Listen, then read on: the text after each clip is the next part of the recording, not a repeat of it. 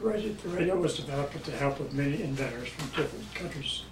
Scientists discovered that electrical waves and light waves were related in the 19, 1895. In 1895, an Italian inventor developed the first wireless telegraph. And America was the first broadcast voice by radio. By 1920, the first radio station was set up in the United States. Many years ago, a deadly disease called smallpox, smallpox swept across Europe. The symptoms included chills, headache, and fever. Later, pus-filled red spots covered the body. Those lucky enough to survive were often blind and disfigured.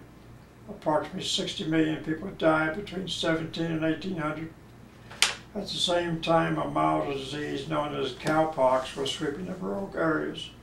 Common among people who milk cows, cowpox was transferred from the udder of an infected cow to the hands of the milker.